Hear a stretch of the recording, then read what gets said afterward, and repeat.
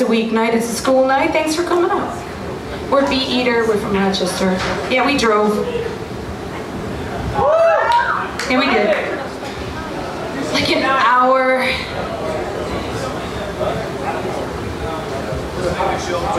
Listen to show tunes on the way up. Not joking. And it actually took two hours because we got behind the one guy that goes 40. You know that guy. There it is. Is he here? Because I. You got something to say to him. I'm sorry. Props to Dave, wherever Dave is. Nice headband. Thanks, Dave. Yeah, where's Dave, the high kicker, the karate chopper? so much, my friend. Oh. Don't be afraid to do a high kick too, you know. I did a high kick. Did you see?